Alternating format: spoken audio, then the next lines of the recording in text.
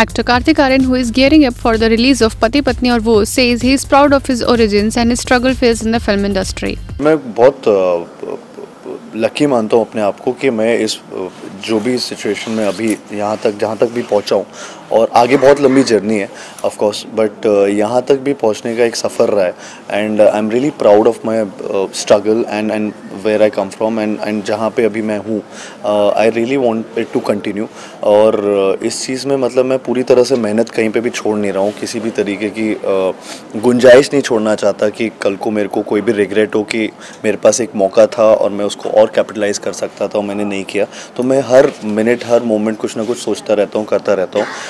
Beat मतलब चाहे वो फ़िल्म के अंदर हो फ़िल्म फ़िल्म को प्रमोशन में हो, चाहे फिर वो कोई भी चीज़ हो फ़िल्म से related set Kartik while promoting his upcoming film along with co stars Ananya Pandey in Bhumi पेड़ कार्तिक से इस Sonu Ke Titu Ki Sweety and Luka Chuppi gave him validation as an actor Guddu हो गया सोनू हो गया आ, आ, ये दोनों characters इन्होंने मेरी लाइफ एक्चुअली चेंज की है।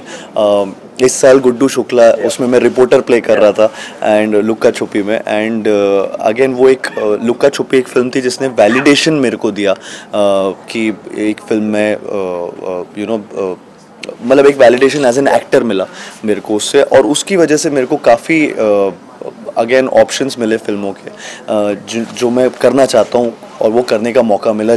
Pati Patni Aur Woh is directed by Mudassar Aziz and produced by Renu Ravi Chopra. IANS report subscribe to our channel just click on the bell icon for all the latest updates